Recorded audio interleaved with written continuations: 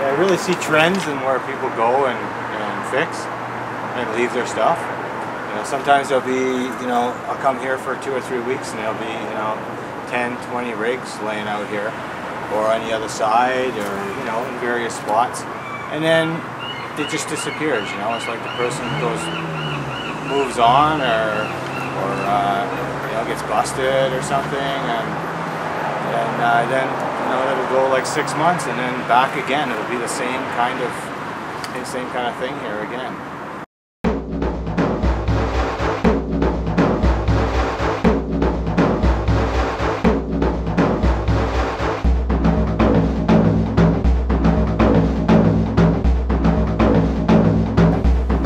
Well, I only work two days a week right now, um, and I work mornings. So I come in here, I'm 10 to 7, 5 to 7, and uh, we get all our gear together, the backpacks, the buckets, and, and pluckers, and the bins for the needles, and we head out. And we walk for two hours doing in interactions and doing rig digging, and come back to the office here, and basically go our separate ways from there.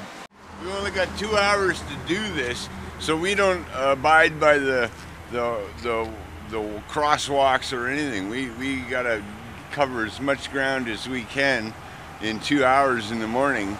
So, uh, like I I, I would say to a, a police officer handing me a ticket, I'll see you in court. We do our outreach uh, seven days a week, 365 days of the year. Doing our outreach, not only do we do uh, needle mobile needle exchange, we uh, collect discarded needles from back alleyways and street corners and playgrounds and schoolyards and sidewalks and you name it, we'll find it. When, when we uh, collect them, it ends up looking like this. And within uh, one month, we'll collect four five gallon buckets full of needles off of Victoria streets. Hey Dave, you missed one. I, I got involved about a year ago in the rig dig. I'm a, a recovering addict and and I know I left my share, fair share of needles out on the street. For me, it's, it was a, kind of a way of not only giving back, but you know, making uh, some positive change in, in, in a, a serious problem I see here in Victoria. Doing the rig dig is really good. I mean, it gets me involved with uh, a lot of people at, you know, I, I wouldn't be able to interact with otherwise. I mean, I work with other agencies and I go to school. And there's, there's no substitute for that, you know, that street level interaction. It's, it's you know, manyfold, the, the reason why I do the rig dig. Sure, there's a, there's a slight monetary uh, stipend for doing it, but it's certainly not the reason why I get out of bed to come here. We put the location, how many we pick up, how many are handed in, how many uh, needle packs we hand out, and they're in bundles of 10 with the alcohol wipes, and then we offer people uh, water, the sterile water packs, and we count the number of interactions.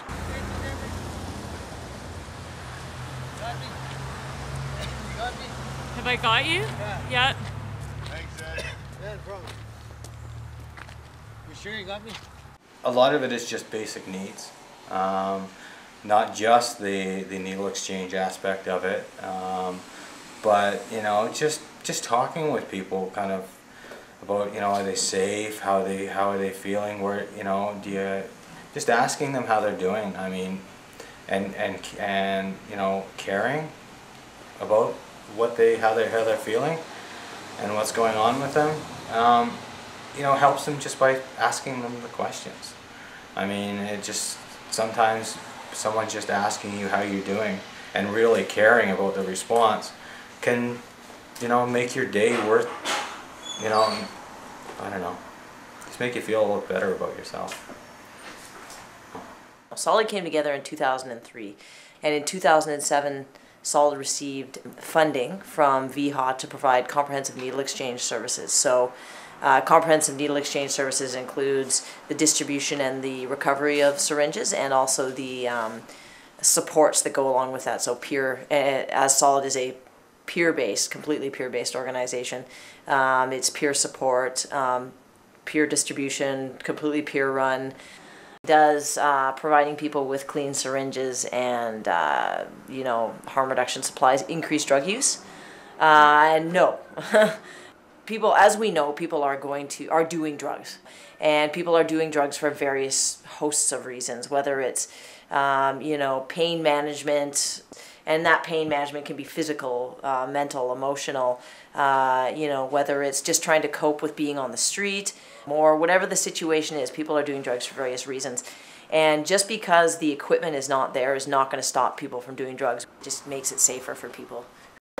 This one contains so one, two, three, four, five, six, seven, eight,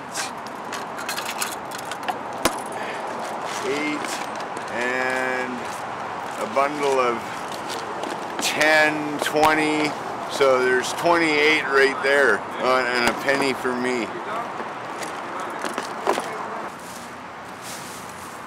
A lot of times that's how we find the needles in the garbage cans because somebody has discarded a bag full of junk out of their knapsack and they'll put their their their waste in there plus they'll throw a bunch of needles in instead of uh, bothering to use the uh, uh, the needle boxes that are located around town or turn them into us they just want to get rid of them.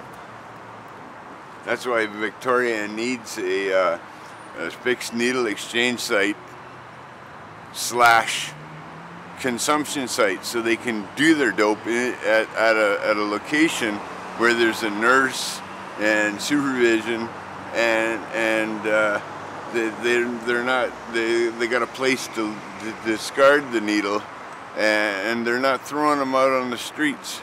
There's no uh, fixed needle exchange site in Victoria and other than uh, VARCS and the AVI outreach teams, the solid outreach team, the three of us are basically the only supply for people using illicit drugs to acquire their, their clean uh, syringes from. We're the ones that are out there first thing in the morning and I like that idea because it cleans up the streets. I saw the need for the streets to be cleaned up. That's why I started doing the, the uh, outreach rig dig. Rig dig. I work with an organization called Harm Reduction Victoria um, that basically was started in, in 2008, just after the closure of the needle exchange. Uh, and we, um, since then, have been working really hard on this. And one of the things that we have developed is the Victoria Harm Reduction Resource Center Society, and the idea behind that is to uh, move forward with opening a supervised consumption service eventually, uh, but by starting to just open a harm reduction resource center for folks here. It's a long process to ensure that it's actually done right and that it's peer run and stuff, but no one else is doing it, so we're going to do it. The city of Victoria talks harm reduction, but their entire focus, their language, the narrative behind their language is all abstinence based. I mean, you don't see them actually putting their money where their mouth is. And, you know, the fact that they actually know that people are dying because of the lack of services here in Victoria, they know that the money that they could vote into, into being there for services like a uh, safe injection site, needle exchange, um, they know this. I mean, it almost makes them culpable for the deaths that are happening on the streets down here in Victoria.